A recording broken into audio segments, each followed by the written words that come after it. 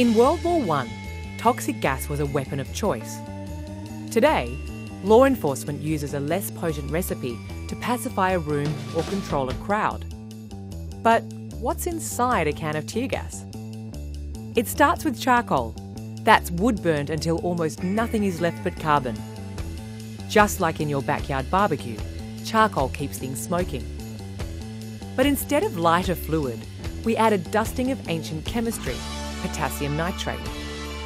In the 13th century, it was known as Chinese snow, a key ingredient of gunpowder and fireworks. KNO3 makes charcoal easy to ignite. And as it burns, it releases oxygen, fueling the fire.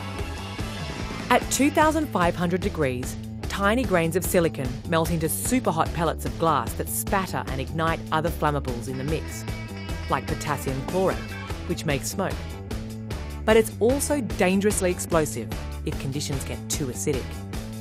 That's where magnesium carbonate comes in, the same stuff you find in fire extinguishers.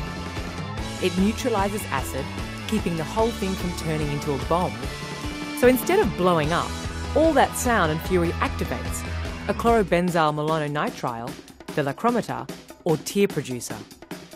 It's a king of irritants, attacking the mucous membranes of your ears, nose, and lungs, making you cough, choke, and go temporarily blind.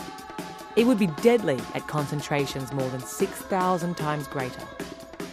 Feeling wired yet? Subscribe.